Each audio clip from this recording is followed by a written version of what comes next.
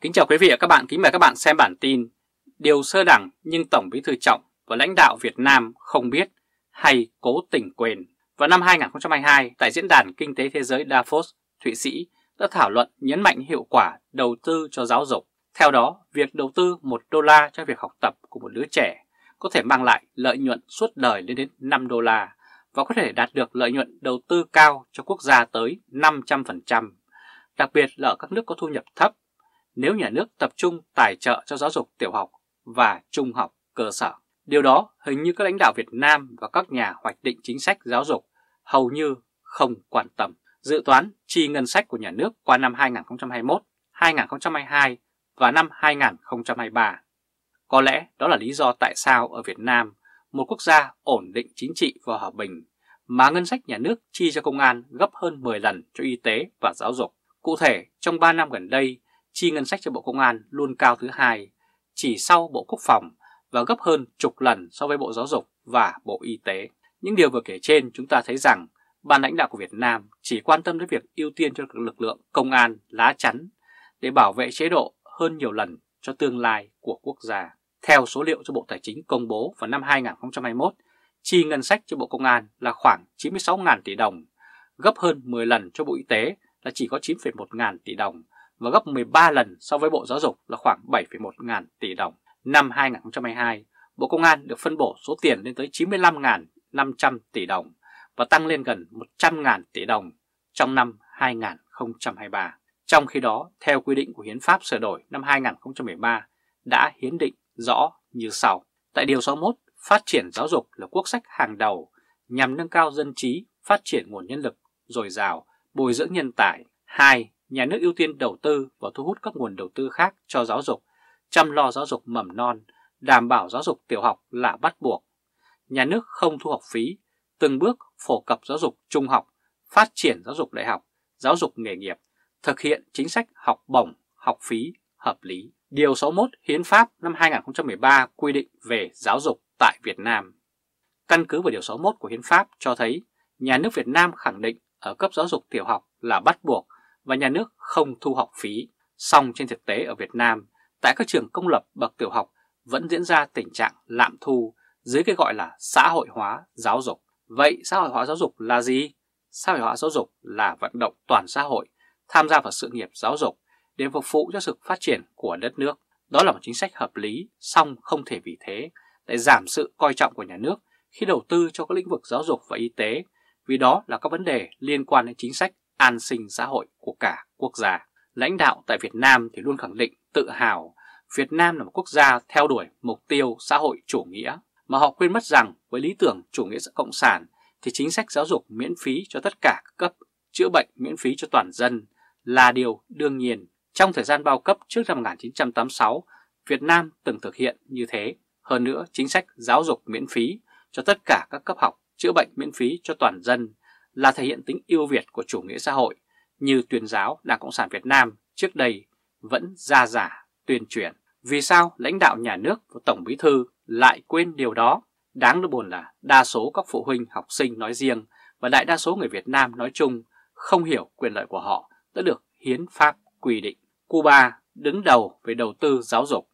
Một dân chứng cụ thể về một quốc gia cộng sản nghèo đói, đó là Cộng hòa Cuba một quốc gia tương đồng với Việt Nam trước đây về mặt chính trị. Theo từ điển Bách Khoa Toàn Thư, ở Cuba hiện nay giáo dục là miễn phí đối với mọi công dân Cuba, gồm cả giáo dục đại học.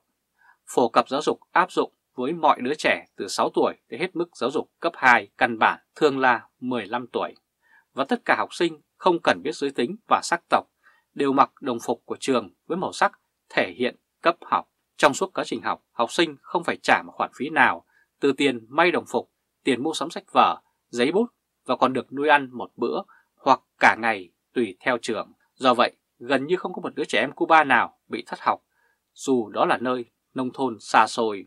Và tương tự như vậy trong lĩnh vực y tế. Đó cũng là lý do vì sao Liên Hợp Quốc xếp hạng và đánh giá các ưu tiên cho y tế, giáo dục ở Cuba là điều đáng ghen tị so với nhiều quốc gia khác giàu có hơn. Cuba chứng tỏ tính ưu việt của chính sách giáo dục và y tế của chủ nghĩa xã hội. Dù rằng vẫn theo Liên Hợp Quốc, Cuba là một trong các quốc gia có các nguồn lực hạn chế. Những điều trên chứng tỏ Việt Nam hiện nay về thực chất chẳng có gì được theo đuổi chủ nghĩa xã hội hay chủ nghĩa cộng sản cả.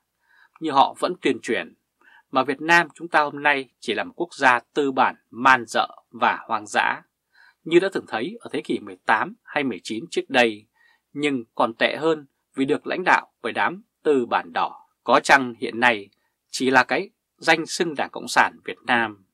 Vấn đề là người đứng đầu Đảng Cộng sản Việt Nam hiện nay, ông Tổng Bí thư Nguyễn Phú Trọng, vốn tự xưng là một nhà lý luận hàng đầu về chủ nghĩa cộng sản, người luôn khẳng định Việt Nam theo đuổi mục tiêu chủ nghĩa xã hội, lại quên mất những điều sơ đẳng nhất rằng chính sách giáo dục và y tế miễn phí thể hiện tính ưu việt của chủ nghĩa xã hội.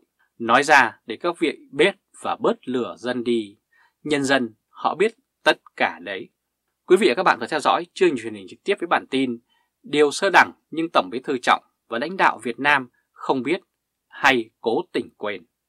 Đại án Việt Á vì sao Bộ Công an hô biến khoảng 700 tỷ đồng đã đưa hối lộ của công ty Việt Á. Đọc bản kết luận điều tra của Bộ Công an về vụ Việt Á được công bố gần đây đã cho thấy có nhiều điều không ổn. Vấn đề lớn nhất toát lên đó là tính thượng tôn pháp luật không được coi trọng, mà họ chỉ đang cố gắng để gọt chân cho vừa chiếc giày. Nghĩa là họ chủ động sắp xếp các dữ liệu điều tra cho phù hợp với chỉ đạo của Ban chỉ đạo Trung ương về phòng chống tham nhũng và tiêu cực do ông Tổng Bí thư Nguyễn Phú Trọng đứng đầu. Đó là giảm nhẹ quy mô vụ án. Đó cũng là lý do vì sao ông Trung Ngọc Anh không bị truy tố tội nhận hối lộ, trong khi ông này nhận túi quà có tới 200.000 đô la, mang cất đi nhưng lại nói là không biết có tiền. Theo truyền thông của nhà nước Việt Nam vào ngày 27 tháng 7 năm 2020, ông Phan Quốc Việt gặp ông Trung Ngọc Anh tại phòng làm việc của ông Trung Ngọc Anh ở Bộ Khoa học và Công nghệ để trao đổi các nội dung về chống dịch. Sau đó, Việt mở ba lô và lấy ra túi quà màu xanh, bên trong có 200.000 đô la. Phan Quốc Việt đã nói với ông Trung Ngọc Anh rằng tụi em mới có được ít thanh toán, ghé cảm ơn anh đã ủng hộ tụi em tham gia đề tài và hỗ trợ tụi em rất nhiệt tình. Nếu tình hình tốt, sắp tới em sẽ ghé thăm anh tiếp. Trong khi đó, Bộ trưởng Trung Ngọc Anh đã nói rằng tớ cảm ơn Việt. Sau đó, ông Việt để lại chiếc túi đó rồi chào ra về. Việt Á chi hoa hồng gần 800 tỷ đồng. Sau này, ông Trung Ngọc Anh khai với cơ quan điều tra của Bộ Công an là khoảng một tháng sau đó khi dọn dẹp phòng làm việc, ông Trung Ngọc Anh thấy túi quà do ông Việt đưa lúc trước, kiểm tra thấy trong túi có 200.000 đô. Thế là kết luận điều tra khẳng định cựu Bộ trưởng Trung Ngọc Anh không trao đổi, bàn bạc, thỏa thuận, thống nhất với ông Việt về việc đưa, nhận tiền, không gây khó khăn nhằm mục đích để ông Việt phải đưa tiền.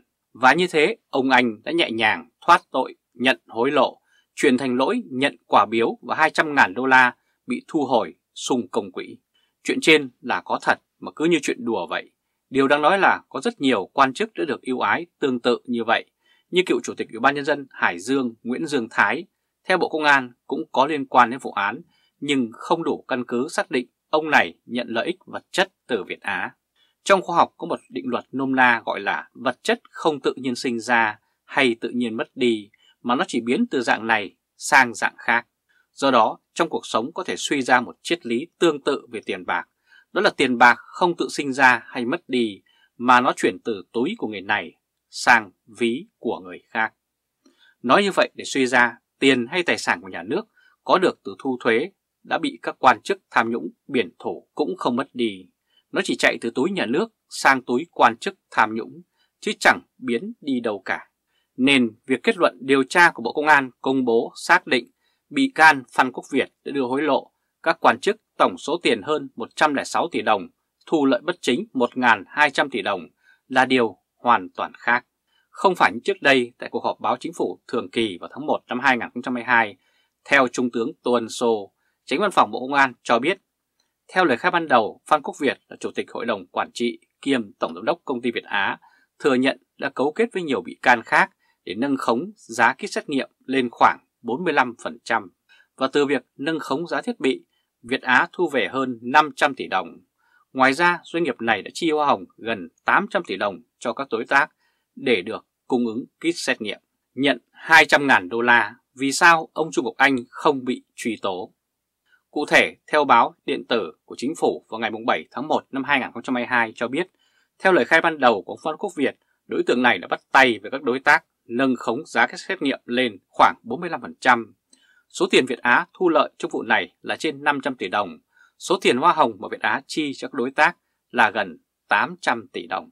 Rõ ràng số tiền đưa hối lộ của Việt Á từ cùng một nguồn của Bộ Công an công bố chỉ khác nhau về thời điểm, nhưng lại là những con số rất khác nhau. Cụ thể vào tháng 1 năm 2022, con số này là gần 800 tỷ đồng, nhưng đến tháng 7 năm 2022 lại chỉ còn có 106 tỷ đồng. Vị tỷ chi số tiền đưa hối lộ của Việt Á sau một thời gian với bàn tay phủ phép của Bộ Công an đã hô biến tròn trèn khoảng 700 tỷ đồng. Dưới góc độ tâm lý, theo các chuyên gia tội phạm khoa học khẳng định, các nghi can hay bị cáo đều biết rằng trong tội danh đưa và nhận hối lộ, nếu số tiền đưa hối lộ càng lớn thì tội sẽ càng nặng. Như vậy, với con số 800 tỷ đồng theo quy định của pháp luật hiện hành là con số vượt mức án tử hình gấp rất nhiều lần. Chắc chắn Phạm Quốc Việt chẳng dài gì bịa hay khai vống số tiền đã hối lộ. Kết luận điều tra vụ Việt Á hối lộ hơn 106 tỷ đồng. Vậy 700 tỷ đồng Việt Á đã hối lộ, phần còn lại đã đi đâu? Và đương nhiên số tiền đó sẽ nằm ngoài hồ sơ vụ án. Theo logic, số tiền hối lộ được Bộ Công an giảm xuống 8 lần và lập tức sẽ kéo theo danh sách các quan chức tham nhũng nhận hối lộ hoặc chưa bị lộ. Từ công ty Việt Á sẽ ngắn lại một cách tự động xuống nhiều lần, cũng sẽ tạo cơ hội cho việc chạy án. Phải chăng có sự chỉ đạo từ cấp cao yêu cầu Bộ Công an điều chỉnh con số đó xuống chỉ còn 106 tỷ đồng.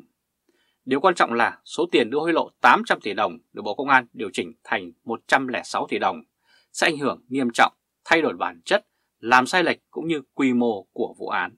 Do vậy, dư luận xã hội cho rằng Bộ Công an đã hồ biến hay là ảo thuật để cho một hành vi phạm tội lớn như con khủng long trong chớp mắt đã biến thành con chuột nhắt là đúng, còn oan ức gì nữa. Thật đáng buồn cho nền tư pháp của Việt Nam đã bị thế lực chính trị cấp cao nhất công khai đổi trắng thay đen giữa thanh thiên bạch nhật.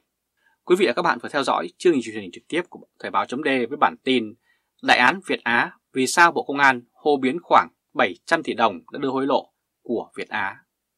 Quý vị và các bạn hãy chia sẻ video này cho nhiều người biết và bấm nút theo dõi YouTube và Facebook của Thời báo chấm để luôn được cập nhật những bản tin mới nhất, nhanh nhất và trung thực nhất. Từ Berlin, Cộng hòa Liên bang Đức chào các bạn. Hẹn gặp lại các bạn ở bản tin lần tới. Trung Khoa Thời báo chấm